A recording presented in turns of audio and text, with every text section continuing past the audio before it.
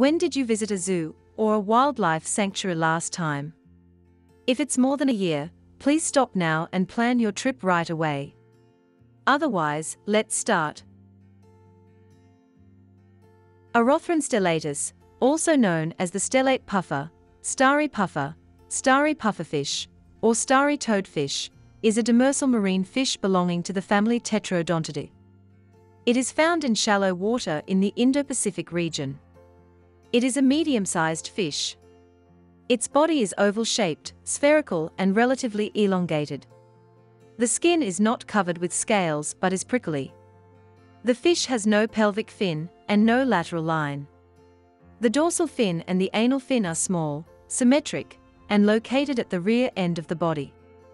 The head is large with a short snout that has two pairs of nostrils, and the mouth is terminal with four strong teeth.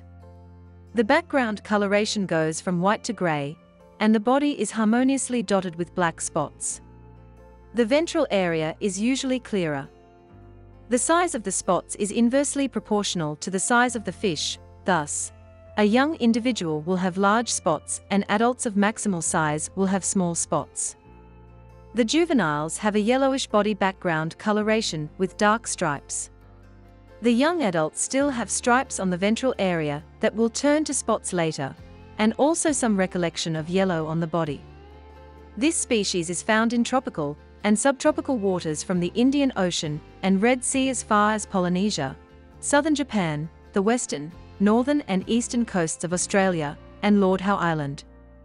It feeds on benthic invertebrates, sponges, algae, the polyps of corals such as Acropora, crustaceans and mollusks. This pufferfish is diurnal.